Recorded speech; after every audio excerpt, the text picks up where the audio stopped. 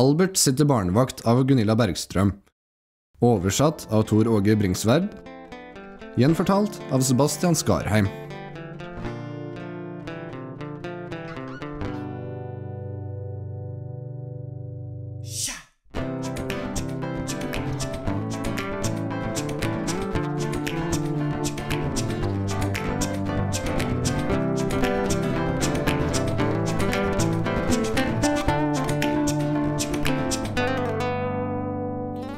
Her er Albert Aaberg, syv år. Han har fått jobb. Han er barnevakt. Hele kvelden skal han være hos lille Nurket. Han skal gi ham kveldsmat, legge ham og passe på ham når han sover. Foreldrene til Nurket er i selskap. I morgen får Albert penger og sjokoladekake. Men det er bare hvis han har vært en flink barnevakt. Å, han skal være så snill, så snill. Han skal synge for Nurket og gi ham en bolle, og ta ham på fanget, og lese eventyr. Men det går ikke så bra. Nurke kan selv. Han kan ta på seg pysjamasen selv, og synge selv, og spise kveldsmaten selv. Men lese eventyr selv og sitte på fanget på seg selv? Det kan han i hvert fall ikke. Så til slutt må han be Albert. Eventyr nå?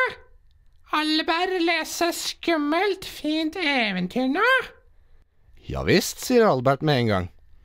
Kom og sett deg her hos meg, så leser vi. Nei, ikke sitte fanget. Sitte selv. sier Nurke. Men du kan jo sitte her ved siden av, bare, foreslår Albert, som vil lage en riktig kosestund. Nei, sier Nurke trassig. Jaså? Jaha. Men Albert vil jo ikke krangle. Barnevakter skal jo være snille. Så han åpner boken og begynner. Det var en gang en liten, liten mus som hadde nei, ikke liten mus. sier Nurke. Annet eventyr. Albert tar den neste boken og begynner. Det var en gang en liten, liten kylling som bodde Nei, ikke liten og liten. Ikke bok og bok. Annet eventyr. Skummelt. Hvordan da? undrer Albert. Udyr er skremme og kniver og farlig. sier Nurke. Aha, han vil høre noe som han riktig kan grøsse av, Hva han vil at Albert skal finne på. Skal jeg fortelle om det store, farlige grumonsteret? Ja, roper Nurke. Men det er et fryktelig eventyr, du kan bli redd. Da er det nok best at du sitter på fanget mitt allikevel, sier Albert. nei, sitte selv. Begynn nå. Albert forteller at grumonsteret pleier å snike seg ut når det mørkner om kvelden. Omtrent nå. På denne tiden. Og han ser forferdelig ut. Med stygge øyne som lyser i mørket, og med skarpe, giftige huggtenner. Grumonsteret har ekle, stikkende hårstrå over hele kroppen. Og han har tre klør på hver finger og kan klore noe aldeles forferdelig. Er du redd? spør Albert. Nei, mer. Svarer Nurket.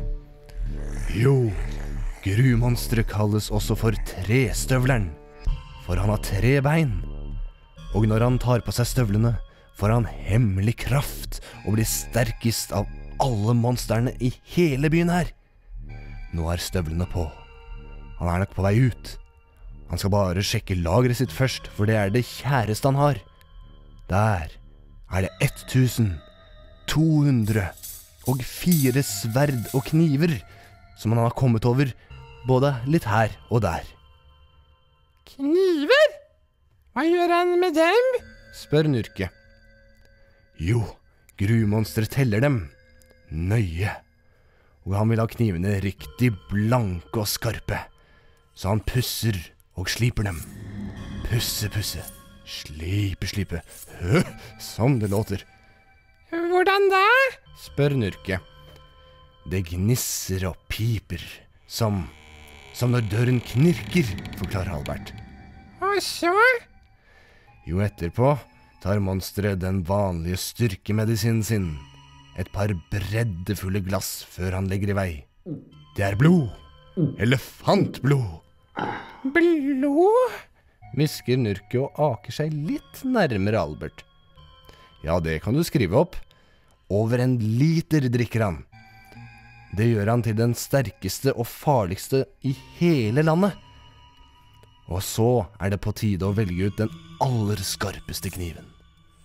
For grumonsteret skal ut og skaffe seg litt nattmat. Lekkert og mørt menneskekjøtt skulle nok smake bra nå i kveld. Spiser han barn også? gisper Nurket, og aker seg enda lite bitte grann nærmere Albert. Nja, sier Albert. Et barn er for lite for monsteret. I så fall må det bli minst to. To barn? Ja, for ellers blir han ikke mett. Nå har Nurke store øyne og sier Mm, Men, mm, men Vi er jo to barn. Oi! Her farer Nurke opp. Albert stanser midt i eventyret. Nurke lander tett inntil Albert. Han peker mot døren og hvisker. Ha, ha, han har kommet. Jeg, jeg, jeg, jeg hører noe. Men Albert hører ikke noe spesielt. Pytt. Det var bare døren som knirket da du spratt opp i sted. Grumonsteret kan ikke komme hit i det hele tatt, for han fant seg nettopp noen fete skogtroll og ble så mett at han sovnet, forklarer Albert. Nurke sover sier Nurke. Albert putter dynen godt rundt han og sier god natt. Nurke hvisker fra sengen. Er det sikkert at monsteret sover nå? Ja, det er både sikkert og visst, sier Albert. Han har til og med tatt av seg de tre støvlene, så all farlighet er gått ut av han. Det monsteret sover nok for bestandig nå, så du kan være helt trygg. Du som er så stor og flink, og kan selv, sier Albert. Det ble Nurke veldig glad for å høre. Albert er også glad. Det har gått helt greit å være barnevakt. Nurke er i seng, og her er det stille og rolig. I morgen får Albert pengene og kaken. Det blir sikkert en sånn med masse krem. Da roper Nurket. Albert, Albert, kom og les eventyr. Bare ett til. Om lille kyllingen. Og nå vil Nurket sitte på fanget og høre om den lille, lille kyllingen.